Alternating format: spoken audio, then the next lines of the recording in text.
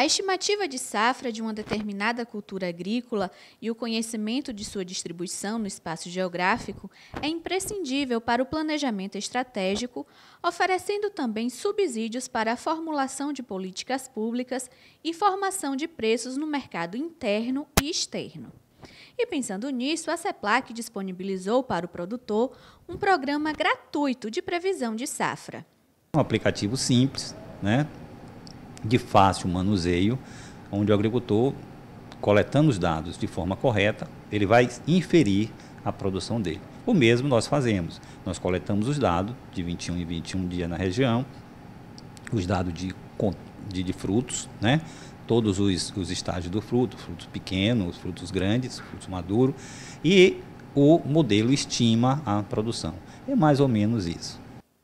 Sistema desenvolvido pela CEPLAC está disponível no site da instituição e oferece uma base bastante intuitiva e de fácil manuseio.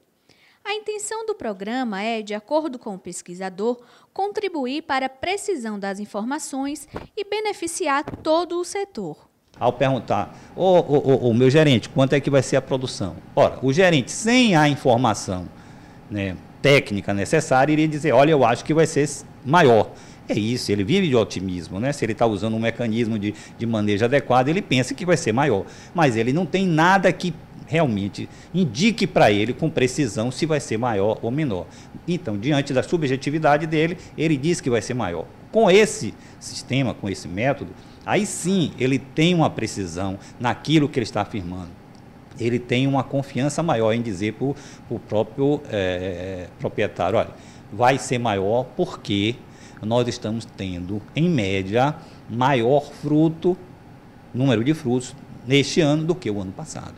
Isso é uma afirmação categórica, né? uma afirmação positiva. Ou então, vai ser menor porque, até esse momento, nós temos o número de frutos menor do que o ano passado. Então, isso é o que nós estamos objetivando, trazer a família no contexto de administração, tá certo? Interagir aquela tecnologia com a comunidade de um modo geral, interagir o agricultor com, a, com seu sindicato, com o seu município, com o Estado, porque ele vai passar uma informação. No campo, a coleta de dados deverá ser realizado a partir da aplicação de um formulário simplificado, que deve ser impresso a partir do próprio programa e precisa ser repetido a cada 21 dias na área escolhida, como ensina este técnico.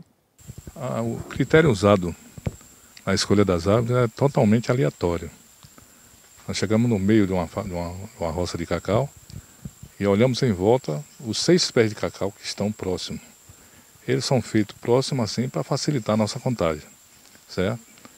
E de uma maneira totalmente aleatória, sem, sem escolher aquela árvore ou outra, porque aquilo nos traria um prejuízo grande para uma amostra. Se escolhêssemos a melhores ou piores para, para fazer a contagem. Primeira coisa que nós fazemos no campo, ao chegar numa árvore, é fazer a limpeza das, das árvores.